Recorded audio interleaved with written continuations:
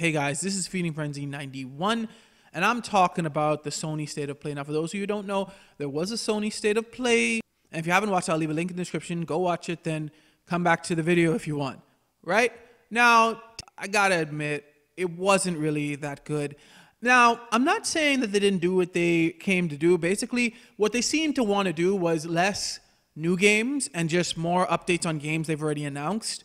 But the problem is that some of these games we've already heard a lot of. Now, some of these announcements were okay, but some of these games were like like Deathloop. We've already seen a good amount of Deathloop. I don't think we really need to see much more. I think we just need to. I think I. I mean, like it looks kind of cool, cool concept and all, but I think we've seen pretty much a, a, good amount already.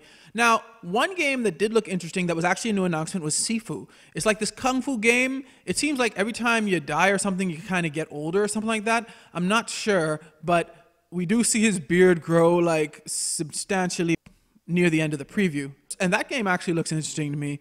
It looks like a kung fu beat 'em up. It doesn't look like it's a $60 game. It looks more like probably a $20 game or something, but it looks pretty cool. Other than that, I'm pretty sure they gave no more new game announcements.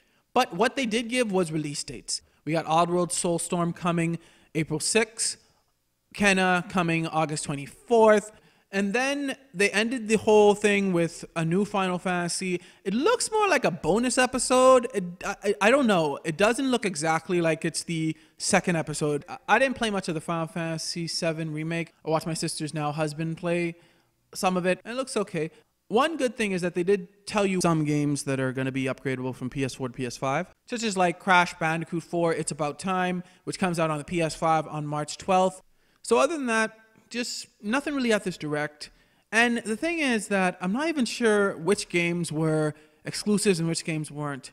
Because I don't think Sony really specified for most of those games whether they were going to be like exclusive to their platforms or whether they were coming to other platforms. Like we know Knockout City, that's at least coming to the Switch because that was actually announced at the Nintendo Direct last week. But in any case, this state of play just, it wasn't there for me. And it ended really, like when they said before we go, I'm like, wait a minute, you're ending already? But in reality, there wasn't much like announced at this state of play. Anyway, what did you guys think about the Sony state of play? Did you guys really like it? And are you guys looking forward to any of the games that were shown off? Let me know in the comments below. Thanks for watching. Like, subscribe. May God bless you all.